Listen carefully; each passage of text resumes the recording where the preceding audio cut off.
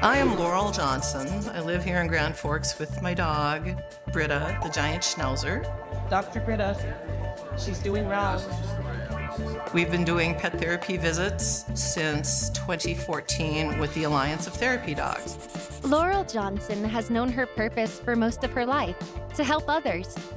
But Laurel never works alone. And everyone gets excited as a perky puppy the first time they meet Brita. This is Dr. Brita, TD. There are other organizations that will use cats or birds or even miniature horses, but we're with Alliance of Therapy Dogs. So we have dogs that are at least a year old so they can mature. Brita is a therapy dog, but that's not quite the same thing as a service dog.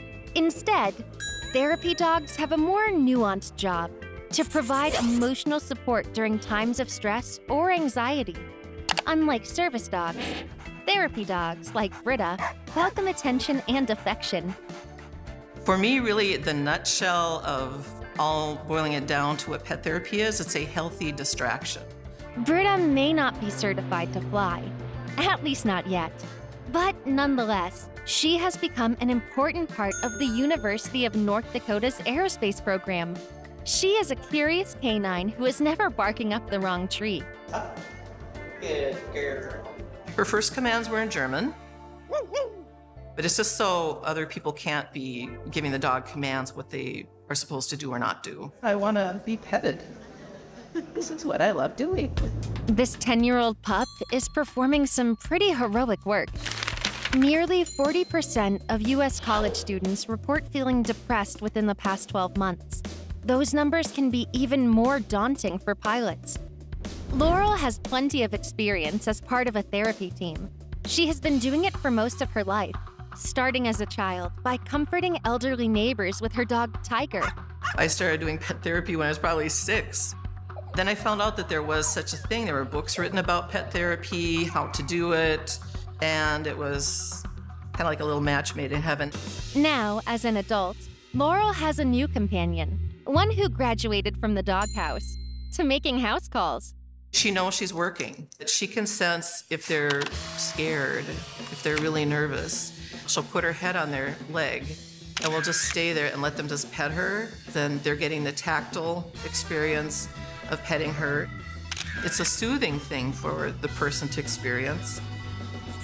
Nowhere is their work more important than on the University of North Dakota Aerospace Campus. Following a winter tragedy involving a student pilot, both Laurel and Brita leapt into action. I knew that a therapy dog might be helpful in this situation. We've sort of been adopted by aerospace. These student pilots can spend a lot of time away from their friends and family, in the air and in the classroom, which can be rough on their mental health. But therapy dogs provide crucial companionship and social support, which can help pilots feel less isolated and anxious. Business card. Hello. You can have that. I hand out her business card to the students. They love that. She's on many people's refrigerators, in their wallets, in their cars. She's with them pretty much everywhere.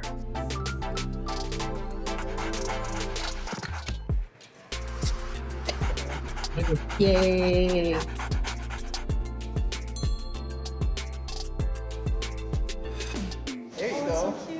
Thank you. Now, Laurel and Brita have become such a possum team that they have been invited to speak at events like the 2022 Aerospace Mental Health Symposium at the University of North Dakota. It's an honor a lifetime in the making, but for Brita, it's just another opportunity to make a difference. And I just want to mention the term Zooeyia. Zooeyia is now the study of the benefits of bringing animals and humans together. It's my passion. It gives my life a lot of purpose and meaning. Thank you for pausing to talk about PAWS, Animal PAWS, and to learn a bit about pet therapy. I just like being in a place where I can help people and encourage people and just lighten their load by a little bit.